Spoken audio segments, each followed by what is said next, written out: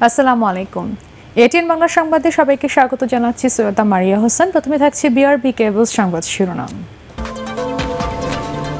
বুধ ও বৃহস্পতিবার আবারও অবরোধের ঘোষণা বিএনপি এবং সমমনাদের। আগুন সন্ত্রাসীদের ধরিয়ে দিলে আর্থিক পুরস্কার দেবে পুলিশ।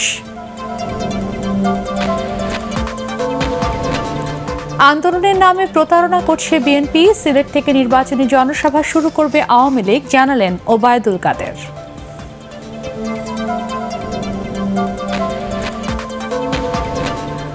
পবিত্র ওমরা পালন করলেন প্রধানমন্ত্রী শেখ হাসিনা, বাংলাদেশ সহ পুরো মুসলিম উম্মার শান্তি ও সমৃদ্ধি কামনা।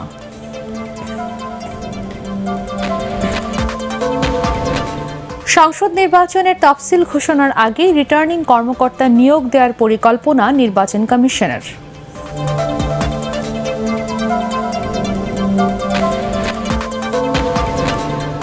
এবং টিআরপি বাড়াতে খবরে ভুল তথ্য দিয়ে দেশের ক্ষতি করার সুযোগ নেই বললেন ডক্টর মাহফুজুর রহমান।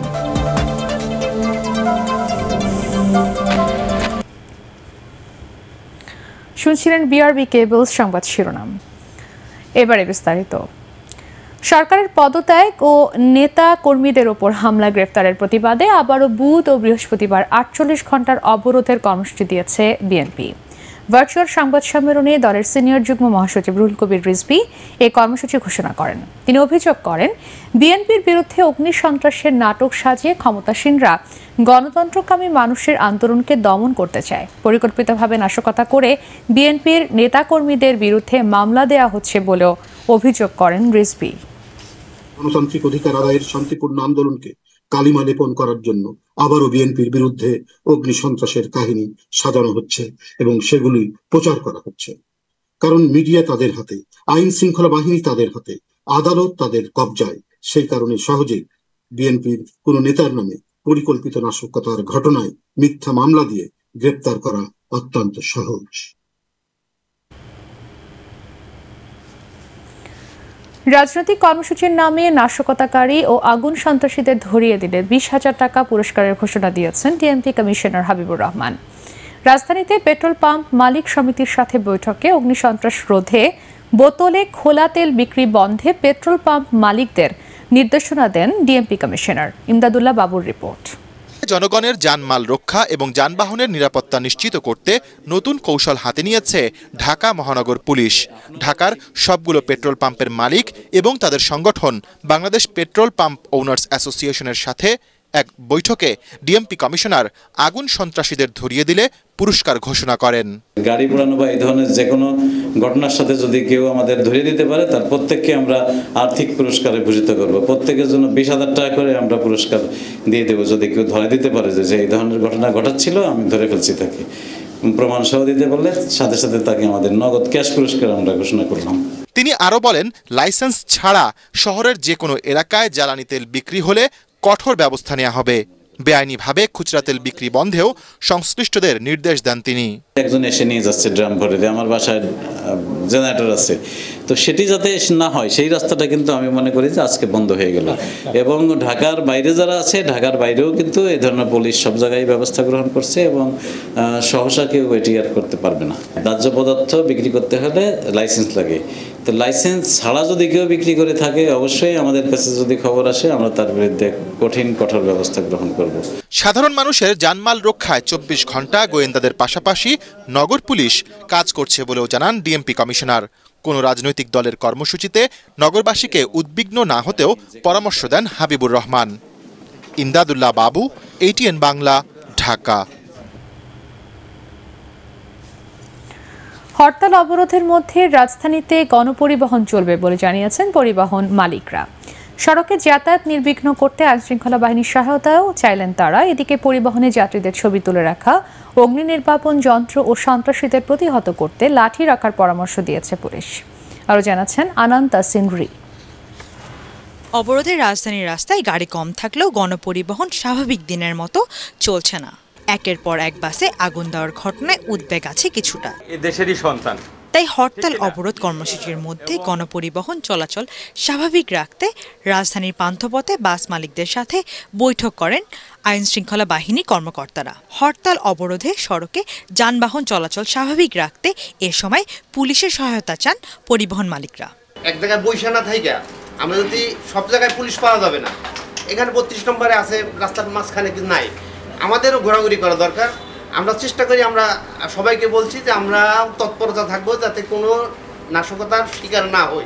আমাদের সবই শিডিউল দেওয়া আছে কিন্তু যাত্রী নেই। তো স্যার এই ক্ষেত্রে আপনাদের মানে করণীয়টা কি? আমাদের গাড়িগুলো যেন বড় ধরনের কোনো সমস্যা না হলে যেন আমরা মামলা হামলা থেকে আপাতত একটু আপনাদের কাছে স্যাক্রিফাইস পাই। গণপরিবহন মামলা ও চালকদের অযথা হয়রানি বন্ধে পুলিশের সাহায্য চান বাস মালিকরা। তা বিবেচনার আশ্বাস দেন পুলিশ কর্মকর্তারা। কেউ যদি তার সম্পত্তির ক্ষতি করে, তার জীবনের ক্ষতি করে, সে তার আত্মরক্ষার জন্য সে আর একজনের উপরে কি করতে পারে? আইনের আওতায় আনতে পারে। আইনের আওতায় আনতে যে শক্তি প্রয়োগ করার দরকার, আপনারা করবেন। আপনি হয়তো শতভাগ নাশকতা এড়া- এড়াতে পারবেন না। আপনি হয়তো শতভাগ বিশৃঙ্খলা এড়াতে পারবেন না। এরপরেও দুর্ঘটনা থাকতেই পারে। কিন্তু আপনি সচেতন থাকলে, আমি সচেতন থাকলে আমরা বিশ্বাস করি এটা নাইনটি পার্সেন্টই কমানো সম্ভব। পুলিশের সহায়তা নেওয়ার পাশাপাশি নাশকতা ঠেকাতে বাস মালিক ও শ্রমিকদের সচেতন হওয়ার পরামর্শ দিয়েছেন আইন শৃঙ্খলা বাহিনী। আনন্দ সিন্ড্রি এটিএন বাংলা, ঢাকা। আন্দোলনের নামে বিএনপি মানুষের সাথে প্রতারণা করছে বলে মন্তব্য করেছেন আওয়ামী লীগ সাধারণ সম্পাদক ওবায়দুল কাদের। রাজধানী তেজগাঁয় ঢাকা জেলা আওয়ামী লীগের কার্যালয়ে গণমাধ্যমকে তিনি জানান, সিলেট শহর থেকে নির্বাচনী জনসভা শুরু করবে আওয়ামী লীগ। নজিবুর রহমানের রিপোর্ট। রাজধানীর তেজগাঁওয়ে ঢাকা জেলা আওয়ামী লীগ কার্যালয় পরিদর্শনে আসেন ক্ষমতাসীন দলের সাধারণ সম্পাদক ওবায়দুল কাদের।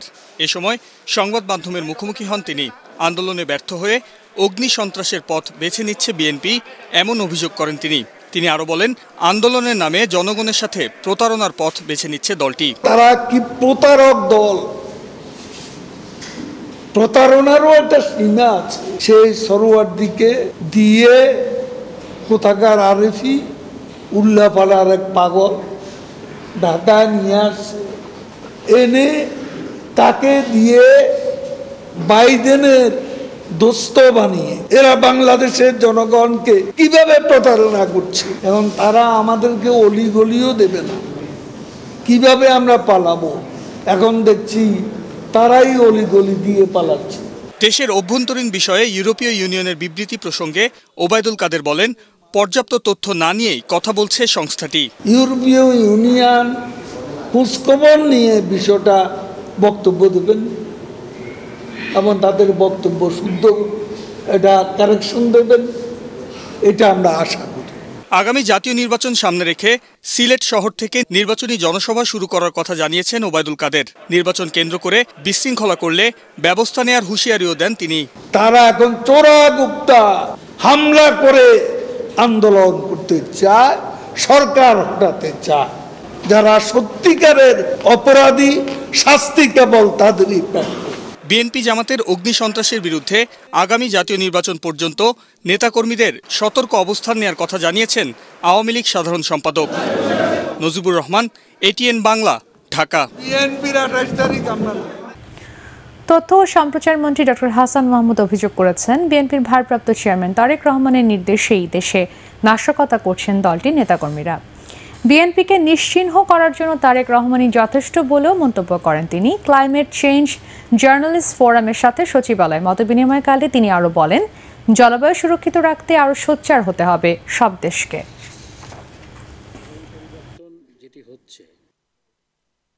বিএনপি নেতারা এবং বিশেষ করে তাদের ভারপ্রাপ্ত চেয়ারপারসন, টেলিফোন করে করে বিভিন্ন একেবারে তাদের ওয়ার্ড লেভেলে পর্যন্ত টেলিফোন করে বলছে আগুন সন্ত্রাস চালানোর জন্য। সেগুলো তথ্য প্রমাণ আমাদের কাছে আছে। এবং তারা ওয়ার্ড লেভেলের নেতাকর্মীদের পয়সা দিয়ে চোরাগপ্তা হামলা করাচ্ছে। এটি কোনো তো রাজনীতি না। এটি কোনো রাজনৈতিক কর্মসূচি না। বিএনপি নিশ্চিন্ন হওয়ার জন্য আর কাউকে লাগবে না।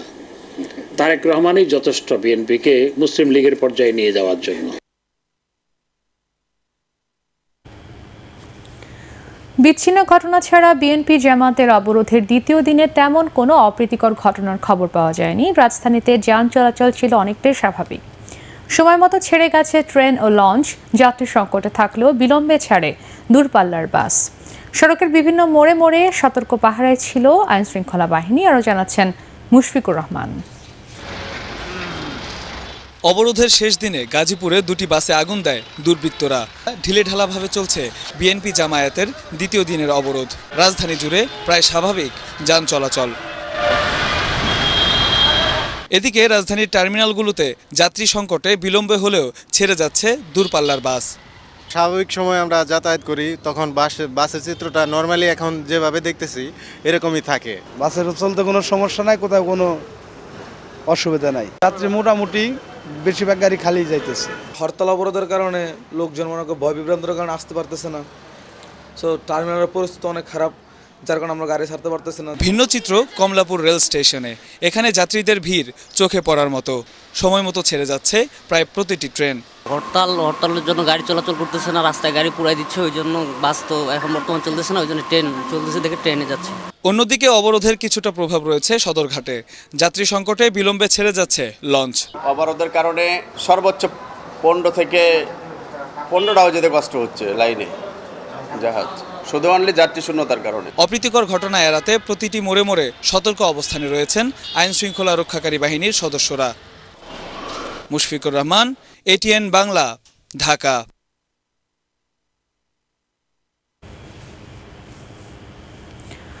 তিন দিনের সৌদি আরব সফরের দ্বিতীয় দিন সকালে মক্কার পবিত্র মসজিদ, মসজিদুল হারামে ওমরা পালন করেছেন প্রধানমন্ত্রী শেখ হাসিনা। ছোট বোন শেখ রেহানাকে সাথে নিয়ে কাবা শরীফের চারদিক তাওয়াফ এবং সাফা মারওয়া সাই করেন তিনি। পরে মসজিদুল হারামে ফজরের নামাজ আদায় করেন প্রধানমন্ত্রী। এ সময় তিনি বাংলাদেশ সহ সমগ্র মুসলিম ওমার শান্তি, সমৃদ্ধি ও অগ্রগতি কামনা করেন। প্রধানমন্ত্রীর সফর সঙ্গী সহ অন্যান্য সদস্যরাও এ সময় ওমরা পালন করেন। এর আগে বিমানে মদিনা থেকে জেদ্দায় পৌঁছান প্রধানমন্ত্রী শেখ হাসিনা। ওমরা পালনের উদ্দেশ্যে সেখান থেকে সড়ক পথে মক্কায় যান তিনি। এদিকে গতকাল মহানবী হজরত মোহাম্মদ সাল্লাহু আলহিবাসাল্লামের পবিত্র রওজা মোবারক জিয়ারত করেন প্রধানমন্ত্রী। মদিনায় পৌঁছে বাদ আসর নবীর রওজা জিয়ারত ও মসজিদে নববীতে নামাজ আদায় করেন প্রধানমন্ত্রী ও বঙ্গবন্ধুর কনিষ্ঠ কন্যা শেখ রেহানা। এবার সংসদ নির্বাচনের তফসিল ঘোষণার আগে রিটার্নিং কর্মকর্তা নিয়োগ দেওয়ার পরিকল্পনা করছে নির্বাচন কমিশন। ভোট আয়োজনে আগাম প্রস্তুতির জন্যই এমন সিদ্ধান্ত হতে পারে, এতে করে নির্বাচনী আইনের কোনো ব্যত্যয় হবে না বলে জানিয়েছেন কমিশনের অতিরিক্ত সচিব অশোক কুমার দেবনাথ। বিস্তারিত একরামুল হক সায়েমের রিপোর্টে।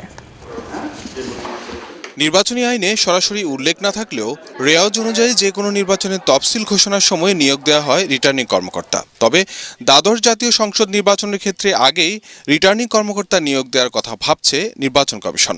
ভোটের সময়সূচি ঘোষণার আগে রিটার্নিং কর্মকর্তাদের প্রস্তুত করতেই হতে পারে এমন সিদ্ধান্ত। ভোট কেন্দ্রগুলোর তালিকা নির্ধারিত হয় রিটার্নিং অফিসারের সিগনেচারে। কিন্তু রিটার্নিং অফিসার যদি নিয়োগ দেওয়া যদি হয়, তাহলে সে আগে ভোট কেন্দ্রের কাজ এই সকল কার্যক্রমগুলো করে করে ফেলতে পারে। তারপরে পোলিং পার্সোনাল যে নিয়োগ হবে বা তাদের যে খসড়া তালিকা তৈরি করা হবে, সেগুলো রিটার্নিং অফিসার বা সহকারী রিটার্নিং অফিসারের সিগনেচারে চাইতে হয় প্রতিষ্ঠান বরাবর। তো সেই কাজগুলো একটু আগে চাইতে পারে। এটা তো সুবিধা। মানে রিটার্নিং অফিসার আগে নিয়োগ দিলে কোনো অসুবিধা নাই, সুবিধাই বেশি। আর পি এগারো অনুচ্ছেদে বলা আছে যে নির্বাচন কমিশন একটা প্রজ্ঞাপন দিবে। তফসিল শব্দ আমরা একটা প্রচলিত হয়ে গেছে। আইনি বলা আছে সাত ধারা যে নির্বাচন কমিশনার প্রত্যেক নির্বাচন নির্বাচন কমিশন প্রত্যেক নির্বাচনী এলাকার জন্য একজন রিটার্নিং অফিসার নিয়োগ করতে পারবে। নির্বাচন কমিশনের অতিরিক্ত সচিব অশোক কুমার দেবনাথ জানান রিটার্নিং কর্মকর্তা আগে নিয়োগ দেওয়া হলেও তফসিল ঘোষণার পর থেকেই নির্বাচনকালীন সময় গণ্য হবে। রিটার্নিং অফিসার যদি আগে তো নিয়োগ আগে তো দেওয়া হয়েছে হয় কখনো দেওয়া হয়নি। এবারও হবে কিনা বা হবে এরকম কোনো তো বিষয় আমার জানা নাই। তা এতে এতে কোনো জটিলতা কোথাও হবে না। আর ক্ষমতা বাড়ার কোনো বিষয়ও না। রিটার্নিং অফিসার নিয়োগ যদি দিয়ে দেয় সে তখন নির্বাচন কমিশনের কর্মকর্তা হিসাবে ট্রিট হবে। একশো ছাব্বিশ অনুচ্ছেদ অনুযায়ী সরাসরি এটা। তিনি জানান আঠাশ অক্টোবরের পর চলমান সহিংস পরিস্থিতি বিবেচনায় নিয়ে নির্বাচনী মাঠে আইন শৃঙ্খলা বাহিনীর সদস্য বাড়ানো হতে পারে। সেক্ষেত্রে বাড়বে নির্বাচনী ব্যয়ও। নির্বাচনের তফসিল ঘোষণার পর তো নির্বাচনের বিভিন্ন বাহিনীদের সাথে আবার মিটিং হবে সেই সকল বিষয়গুলো আসবে। এদিকে গণমাধ্যমে কথা বলতে ইসি সচিবকে কমিশনের মুখপাত্র হিসেবে নিয়োগ দেওয়ার পর থেকেই মুখ খুলছেন না কমিশনাররা। কোনো কোনো সিদ্ধান্তে কমিশনারদের মধ্যে তৈরি হয়েছে দূরত্ব। সোমবার সিসির সাথে অনানুষ্ঠানিক বৈঠকে যোগ দেননি একজন কমিশনার। নয় নভেম্বর রাষ্ট্রপতির সাথে সাক্ষাৎ করবে নির্বাচন কমিশন। নির্বাচনী প্রক্রিয়ার অ্যাপস উদ্বোধন হবে বারো নভেম্বর আর তফসিল ঘোষণা হতে পারে চোদ্দ বা পনেরো নভেম্বর। ইকরামুল হক, সায়েম, এটিএন বাংলা, ঢাকা। দ্বিতীয় দিনেও আগারগা থেকে মতিঝিল রুটে মেট্রো রেলে উপচে পড়া ভিড় ছিল অফিসগামী যাত্রীদের। ঘণ্টার পর ঘণ্টা যানজটের ভোগান্তি এড়াতে অনেকেই বেছে নিয়েছেন এই গণপরিবহনকে। অল্প সময়ে কর্মস্থলে যেতে পেরে খুশি যাত্রীরা। চাহিদার কথা বিবেচনা করে শুধু সকালে নয়, রাতেও মতিঝিল পর্যন্ত মেট্রো রেল সেবা চালু রাখার দাবি নগরবাসীর। আরও জানাচ্ছেন শফিউল আলম সুজন। সকালের হালকা কুয়াশা ভেদ করে উত্তরা থেকে মতিঝিলের পথে মেট্রো রেল।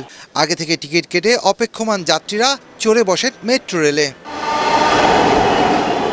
উত্তরা থেকে আগারগাঁও কিংবা মতিঝিল বাণিজ্যিক এলাকায় যাতায়াতের এ পথে এদিন ছিল যাত্রীদের উপচে পড়া ভিড়। আগারগাঁও থেকে মতিঝিল পর্যন্ত আপাতত সকাল সাড়ে সাতটা থেকে দশ মিনিট পরপর বেলা সাড়ে এগারোটা পর্যন্ত চলবে মেট্রো রেল। যানজটের এই নগরীতে স্বস্তির যাত্রায় উচ্ছ্বাস ছিল যাত্রীদের চোখে মুখে। এখানে না আসে এবং সে না ওঠে না যায় তাহলে তাকে বোঝানো যাবে না যেটা কত আরামদায়ক এবং কত সাশ্রয় সময়। আর এখন আমি আটটার সময় রেডি হয়ে আধা ঘণ্টা বা একটু রেস্ট নিয়ে এসেছি বাসায় বাচ্চাদের সময় দিয়ে এসেছি। আমি সাধারণত দেখা যাচ্ছে সিএনজি বা রাইড শেয়ার করে যেতাম তার তুলনায় খরচ ওয়ান থার্ড হয়ে গেছে। পার্সোনাল গাড়ি ছেড়ে মেট্রো রেলে যাওয়া আসলে এটা ঐতিহাসিক একটা ফিলিংস থ্যাংক ইউ প্রধানমন্ত্রীকে। আর সময় তো অবশ্যই পাচ্ছে খুব ভালো লাগছে আর কি। সকালে চলছে এবং বিকেলে চললে আরও ভালো অধিকতর ভালো এবং আমি বিকেলে যেতে পারি যেন সহজেই। সকালে দূরত্ব আসলে বিকালবেলা একটু দূরত্ব যেতে হয় এখন রাস্তায় অনেক যানজট। ট্রেন বাড়িয়ে দিলে বা সময়টা বাড়িয়ে দিলে এটা তো সবার জন্যই ভালো। এখন যে সময় এটা আসলে কাভার করে না। আগারগাঁও থেকে মতিঝিল পর্যন্ত সাতটি স্টেশনের মধ্যে ফার্মগেট সচিবালয় ও মতিঝিল স্টেশন যাত্রীদের জন্য খুলে দেওয়া হলেও পর্যায়ক্রমে খুলে দেওয়া হবে সব স্টেশন। বাড়বেও সময়সীমা। পরিপূর্ণভাবে চালু হলে প্রতিদিন পাঁচ লাখ মানুষ সেবা পাবে এ পরিবহন থেকে। ধাপে ধাপে বিভিন্ন স্টেশনগুলো খুলে দেব এবং কর্তৃপক্ষের নির্দেশনা অনুযায়ী যেন খুব স্বল্পতম সময়ে আমরা এই যাত্রী সাধারণের জন্য সর্বক্ষণ উন্মুক্ত করতে পারি। এই প্রচেষ্টা ডিএমপি সেলে পরিবারের সবার পক্ষ থেকে অব্যাহত আছে। প্রতিদিন লাইনে দাঁড়িয়ে টিকিট কাটা ও বের হবার পথের বিড়ম্বনা এড়াতে এমআরটি পাস ব্যবহারের পরামর্শ সংশ্লিষ্টদের। স্বপ্ন এখন সত্যি হয়েছে নগরবাসীর কাছে। উত্তরা থেকে মতিঝিলে দ্রুত সময়ের মাধ্যমে তারা আসতে পারছে কোনো ধরনের যানজট ছাড়া। শফিল আলম সুজন, এটিএন বাংলা, ঢাকা। সংবাদ হতে হবে দেশের কল্যাণের জন্য, যাতে মানুষ উপকৃত হবে বলে মনে করেন তথ্য ও সম্প্রচার মন্ত্রী ডক্টর হাসান মাহমুদ। তিনি বলেন, পড়ার জন্য পড়া নয়, সে সংবাদ উপস্থাপনা করতে হবে সহজ ও সুন্দর করে। রাজধানীর তেজগাঁয়ে এটিএন বাংলার এফডিসি স্টুডিওতে বেস্ট নিউজ প্রেজেন্টার অ্যাওয়ার্ড অনুষ্ঠানের প্রধান অতিথির বক্তৃতায় তিনি এসব কথা বলেন। এ সময় এটিএন বাংলা ও এটিএন নিউজের চেয়ারম্যান ডক্টর মাহফুজুর রহমান বলেন চ্যানেলের টিআরপি বাড়াতে দেশের ক্ষতি করার সুযোগ নেই। ভালো খবরের পাশাপাশি দেশের ভালোর কথা সবার আগে ভাবতে হবে। এটিএন বাংলা ও এটিএন নিউজ পথ প্রদর্শক হিসেবে সেই কাজটিই করে চলেছে। বেস্ট নিউজ প্রেজেন্টার অ্যাওয়ার্ড প্রতিযোগিতার গ্র্যান্ড ফিনালেতে সেরা দশ প্রেজেন্টার থেকে টপ থ্রি নির্বাচিত হয়েছেন যথাক্রমে বাবলি ইয়াসমিন উজমা হাসান ও কথা নাহিয়ান। অনুষ্ঠানে দেশ বরেণ্য অভিনেতা ও সংবাদ উপস্থাপক রামেন্দ্র মজুমদার ও ইংরেজি সংবাদ উপস্থাপক মাহমুদুর রহমানকে আজীবন সম্মাননা দেওয়া হয়।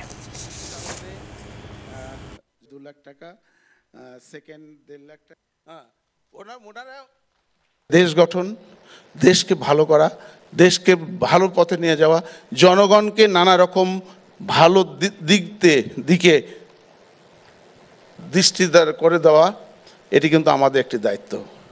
আমি সবসময় চেষ্টা করি, দেশের বা জাতির কোনো ক্ষতি হোক, এমন কোনো সংবাদ আমি আমার রিপোর্টারদেরকে দিতে সবসময় মানা করি। আমি বলি যে, এমন কিছু দেখাবেন না যাতে দেশের ক্ষতি হয়, যাতে দেশের বিশৃঙ্খলার সৃষ্টি হয়। প্রবাসী আয়ে বইতে শুরু করেছে সুবাতাস মন্দাভাব কাটিয়ে অক্টোবরে দেশে এসেছে প্রায় একশো আটানব্বই কোটি মার্কিন ডলার, সেপ্টেম্বরে যা ছিল একশো তেত্রিশ কোটি। তবে এতে আত্মতুষ্টির সুযোগ নেই বলে মনে করেন বিশ্লেষকরা। প্রবাসী আর গতি ঠিক রাখতে হুন্ডি বন্ধের তাগিদ তাদের হুন্ডি ঠেকাতে নজরদারির পাশাপাশি আমদানি রপ্তানি পণ্যের ন্যায্য মূল্য নির্ধারণে সরকার চেষ্টা করছে বলে জানিয়েছে বাংলাদেশ ব্যাংক। ইমদাদুল্লাহ বাবুর আরেকটি রিপোর্ট। পোশাক খাতকে টপকে বৈদেশিক মুদ্রা উপার্জনের সবচেয়ে বড় উৎস এখন প্রবাসী আয়। কিন্তু ডলার সংকটের মধ্যে গত মাসে রেমিটেন্সে ধস নামে। গেল সেপ্টেম্বরে তিন বছরের মধ্যে সবচেয়ে কম প্রবাসী আয় একশো তেত্রিশ কোটি মার্কিন ডলার দেশে আসে, যা ভাবিয়ে তোলে এ খাত সংশ্লিষ্টদের। রেমিটেন্স বাড়াতে নগদ আড়াই শতাংশ প্রণোদনা এবং মোবাইল ব্যাংকিং অ্যাপ চালু সহ নানা উদ্যোগ নেয় কেন্দ্রীয় ব্যাংক। গত মাসের চেয়ে এ মাসে পঁয়ষট্টি কোটি বেশি মার্কিন ডলার দেশে এসেছে। আমাদের অ্যাম্বাসিগুলোও কাজ করছে, আমাদের অন্যান্য মন্ত্রণালয় কাজ করছে। সবাই রেমিটেন্সের উপরে কিন্তু বেশ কিছু কাজ হচ্ছে। এছাড়া ব্যাংকগুলো আপনারা জানেন যে বিভিন্ন প্রোডাক্ট এখন তৈরি করছে রেমিটেন্সের জন্য। সব মিলিয়েই হয়তো একটা ওভারঅল যে ইম্প্যাক্ট সেটা আমরা পাচ্ছি। বিশ্লেষকরা বলছেন যত সংখ্যক প্রবাসী কর্মী বিদেশ যাচ্ছেন সে তুলনায় আয় আশানুরূপ নয়। এটি আরও বাড়ানোর সুযোগ রয়েছে। আমাদের কর্মী যাওয়ার সংখ্যাগতভাবে বাড়ছে। কিন্তু আমরা কোয়ালিটি কর্মী প্রেরণ করতে পারছি না। ব্যাংকিং খাতের মধ্যে যে বাফেদা এবং এবিবি যে শর্ত দিয়েছে যে তারা একশো দশ ডল একশো দশ টাকা পঞ্চাশ পয়সা করে তারা ডলার কিনতে পারবে, আবার একশো এগারো টাকার বেশি করে ডলার বিক্রি করতে পারবে না। কিন্তু যিনি হুন্ডি করেন বা যিনি অর্থ পাচার করেন বা যিনি আন্ডার ইনভয়েসিং করেন, তার কাছে তো এক টাকা, দুই টাকা, তিন টাকা দিয়ে বেশি দিয়ে ডলার কেনা কোনো সমস্যা না। অলওয়েজ হুন্ডিওয়ালারা, অর্থ পাচার পাচারকারীরা আফটার দ্য গভর্নমেন্ট প্রবাসী আয় বাড়াতে দক্ষ কর্মী বিদেশে পাঠানোর পাশাপাশি অর্থ পাচার রোধ করা জরুরি বলেও মনে করেন সংশ্লিষ্টরা। অর্থ পাচার রোধে কেন্দ্রীয় ব্যাংক সতর্ক রয়েছে বলে জানান সংস্থার মুখপাত্র। বাংলাদেশ ব্যাংকের পক্ষ থেকে কিন্তু এখন সবগুলো এলসি মনিটর করা হয়। কোন এলসিতে কোন মূল্যে পণ্য আমদানি রপ্তানি করা হচ্ছে সেটা দেখা হচ্ছে। আমদানি, রপ্তানি, রপ্তানির যে প্রসিডগুলো সেগুলো ঠিকভাবে আসছে কিনা সেটা মনিটর করা হচ্ছে। আমাদের মন্ত্রণালয়গুলো কাজ করছে প্রবাসীদের কল্যাণে। আমাদেরকে যদি আমাদের প্রবাসী আয় বৃদ্ধি করতে হয় রেমিডেন্স বৃদ্ধি করতে হয়, তাহলে কিন্তু আমাদের আভ্যন্তরীণ যে সমস্যাটা, সেটা হচ্ছে আমাদের ফেয়ার প্রাইসে কিন্তু আমাদের প্রত্যেকটা পণ্য আমদানি, রপ্তানির উপর আমাদের নজর দিতে হবে। আমাদেরকে আর্থিক শৃঙ্খলা ফিরিয়ে আনতে হবে। আমাদেরকে অর্থ পাচার রোধ করতে হবে। প্রবাসী কর্মীদেরকে তাদের অর্থ পাঠানোর যে পদ্ধতিটাকে তারা সহজ করতে হবে। যারা আনডকুমেন্টেড কর্মী রয়েছে আনডকুমেন্টেড কর্মীদেরকে কীভাবে তারা বৈধ পথে ব্যাংকিং চ্যানেলে অর্থ প্রেরণ করতে পারে, সেদিকেও কিন্তু আমাদেরকে নজর দিতে হবে। চলতি অর্থ বছরে চার মাসে চার লাখ ছিয়াশি হাজার কর্মী বিদেশে গেছেন, আর প্রবাসী আয় এসেছে ছয়শো আটাশি কোটি মার্কিন ডলার। ইমদাদুল্লাহ বাবু এইটিএন বাংলা ঢাকা।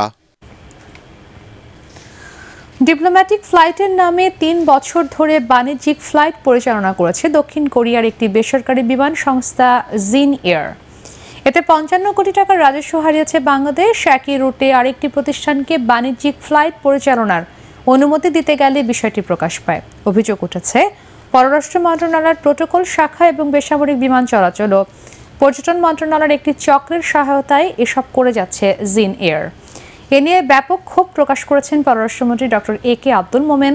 জানান, জিন এয়ারের ফ্লাইট বন্ধের নির্দেশ দেওয়া হয়েছে।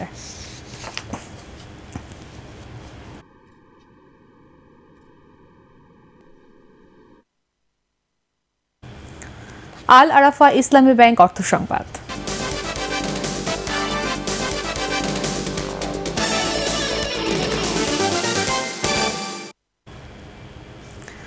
উপহার হিসেবে ওমরা করার সুযোগ পেলেন মোবাইল আর্থিক সেবা নগদের একশো তেষট্টি জন ইউনিক ডিস্ট্রিবিউটর বৃহস্পতিবার নগদ ডিস্ট্রিবিউটরদের দ্বিতীয় দলটি সৌদি আরবে রওনা হন।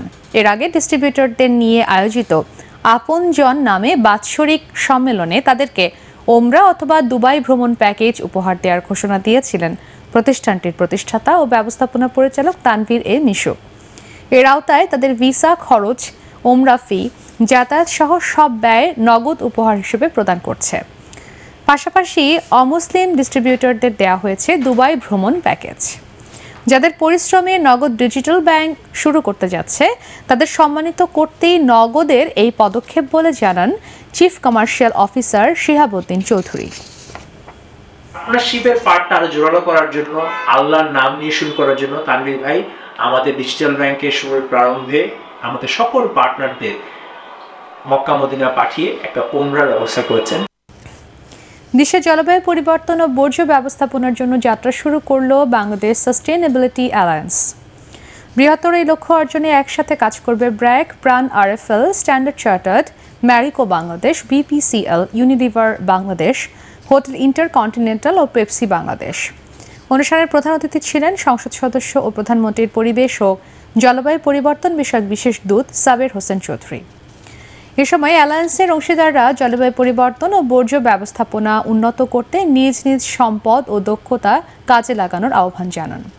এ সময় ব্র্যাকের নির্বাহী পরিচালক আসিফ সালে এবং ইউনিলিভার বাংলাদেশের চেয়ারম্যান ও এমডি জাভেদ আক্তার অন্যান্যের মধ্যে উপস্থিত ছিলেন।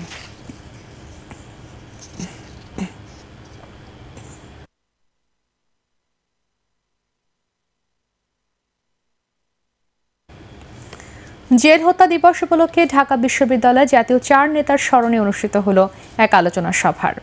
টিএসসির সামাজিক, সাংস্কৃতিক সংগঠন স্লোগান একাত্তর বিশেষে সভার আয়োজন করে।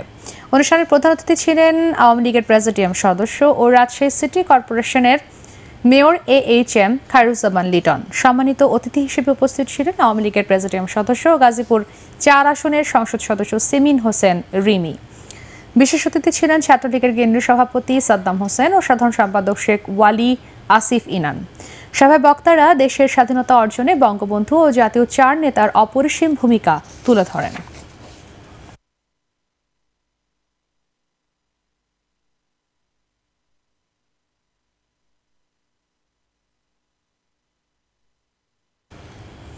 বিশ্বকাপ ক্রিকেটের খবর।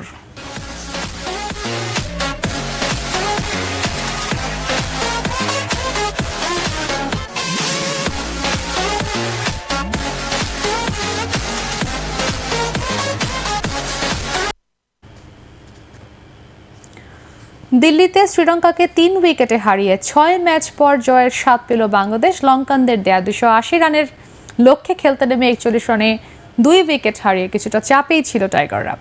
তবে তৃতীয় উইকেটে সাকিব আল হাসান ও নাজমুল হোসেন শান্তর একশো উনসত্তর রানের জুটিতে জয়ের ভিত পায় বাংলাদেশ। সাকিবের বিরাশি ও শান্তর নব্বই রানের ইনিংসে ভর করে তিপ্পান্ন বল হাতে রেখে লক্ষ্যে পৌঁছে টাইগাররা। এর আগে টসে হেরে ব্যাট করতে নেমে সারিত আসালঙ্কার সেঞ্চুরিতে দুশো উনআশি রান করে শ্রীলঙ্কা। একশো পঁয়ত্রিশ রানে পাঁচ উইকেট তুলে নিয়ে লঙ্কানদের চাপেই রেখেছিল বাংলাদেশ, তবে আসালঙ্কার একশো আট রানের দুর্দান্ত ইনিংসে ভর করে, চ্যালেঞ্জিং স্কোর গড়ে শ্রীলঙ্কা। আশি রানে তিন উইকেট নিয়েছেন মুস্তাফিজুর রহমানের পরিবর্তে দলে ফেরা তানজিম সাকিব।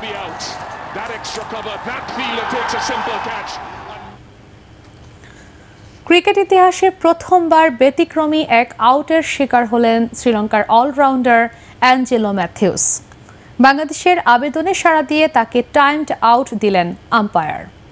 কোনো বল খেলার আগেই টাইমড আউট হয়ে বিদায় নেন ম্যাথিউস। আন্তর্জাতিক ক্রিকেটে প্রথম ব্যাটসম্যান হিসেবে টাইমড আউট হলেন তিনি। মমিনুর রিপনের report. That's a first. Timed out that I've come. প্রথমবারের মতো টাইমড আউটের সাক্ষী হলো ক্রিকেট বিশ্ব দিল্লিতে বাংলাদেশ ও শ্রীলঙ্কার মধ্যকার ম্যাচে ঘটল এমন ঘটনা. এমসিসির আইনে চল্লিশ দশমিক এক দশমিক এক নম্বর ধারা অনুযায়ী একজন ব্যাটসম্যানের আউট হয়ে যাওয়া বা অবসরে যাওয়ার পর যে ব্যাটসম্যান আসবেন তাকে অথবা অন্য ব্যাটসম্যানকে তিন মিনিটের মধ্যে বলের মুখোমুখি হওয়ার জন্য প্রস্তুত হতে হবে And then, oopsie, my helmet's not quite right. I need another one অন্যথায় যে ব্যাটসম্যান নেমেছেন, তাকে আউট হতে হবে। অবশ্য এবারের বিশ্বকাপের প্লেইং কন্ডিশনে বলা আছে, এক্ষেত্রে সময় দুই মিনিট। ম্যাথুস অবশ্য অতিক্রম করেছেন দুটোই। বাংলাদেশের আবেদনের প্রেক্ষিতে তাকে আউট দেন আম্পায়ার.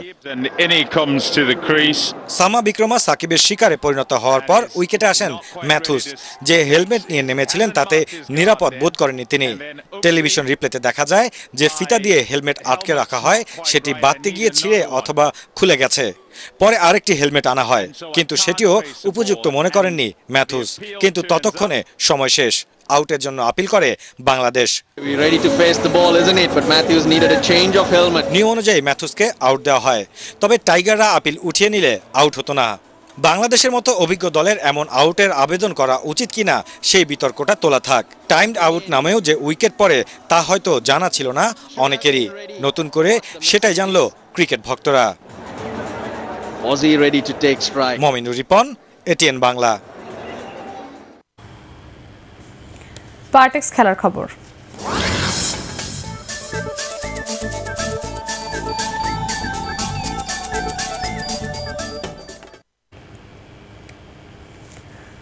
বিশ্বকাপ ব্যর্থতায় পুরো ক্রিকেট বোর্ডকে বরখাস্ত করলেন শ্রীলঙ্কার ক্রীড়ামন্ত্রী রোশন রামান সিংহে। পাশাপাশি উনিশশো ছিয়ানব্বই বিশ্বকাপ জয়ী লঙ্কান অধিনায়ক অর্জুন রানাতুঙ্গাকে অন্তর্বর্তীকালীন চেয়ারম্যান করার কথাও বিবৃতিতে জানিয়েছেন তিনি। পরাগারমানের আরেকটি রিপোর্ট। চলমান বিশ্বকাপ ক্রিকেটে ভালো অবস্থানে নেই শ্রীলঙ্কা।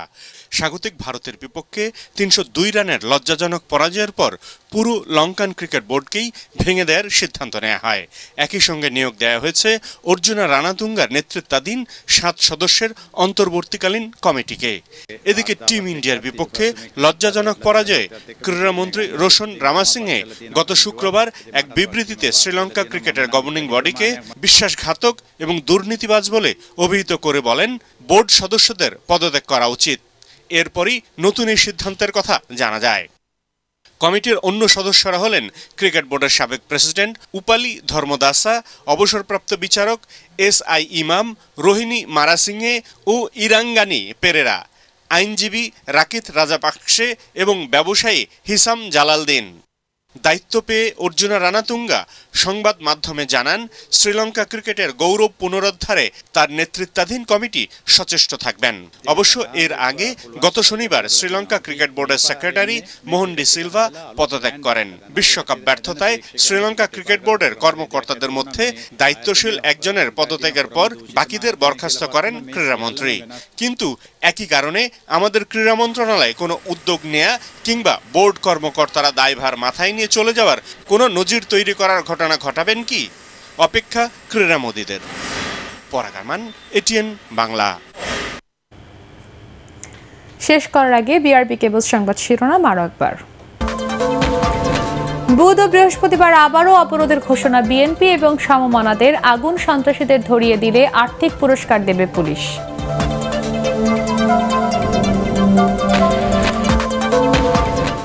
আন্দোলনের নামে প্রতারণা করছে বিএনপি। সিলেট থেকে নির্বাচনী জনসভা শুরু করবে আওয়ামী লীগ, জানালেন ওবায়দুল কাদের।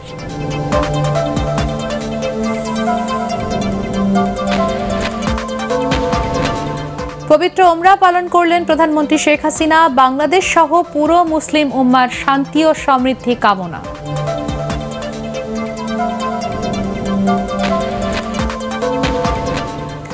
সংসদ নির্বাচনের তফসিল ঘোষণার আগে রিটার্নিং কর্মকর্তা নিয়োগ দেওয়ার পরিকল্পনা নির্বাচন কমিশনের।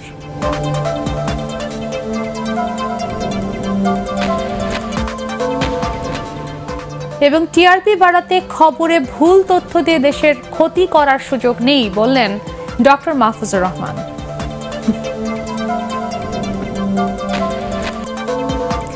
পরবর্তী সংবাদ দেখার আমন্ত্রণ জানিয়ে এখনকার মতো শেষ করছি। এটিএন বাংলার সংবাদ। ইউটিউবে দেখতে ব্রাউজ করুন, YouTube slash ATN Bangla news ধন্যবাদ সবাইকে।